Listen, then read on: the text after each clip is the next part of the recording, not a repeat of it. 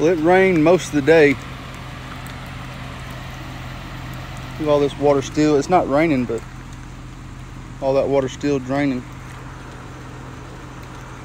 Flowing down into the pond like I wanted. Also over here, we got a steady, steady little flow going over here.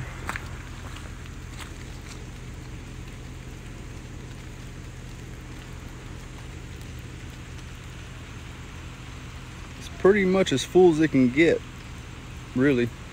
Might have a few more inches it can go. That's all it took though, one rain. I don't know how long it's gonna take to drain back down so I can dig on it some more, but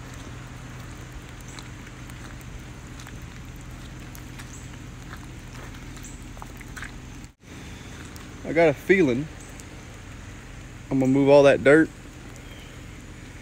and dig the pond out that way. That ground's a little more even with this part here. That over there ain't never gonna fill up. That's as high, pretty much as high as it's gonna get. Which is fine. I'll use that as the shallow end.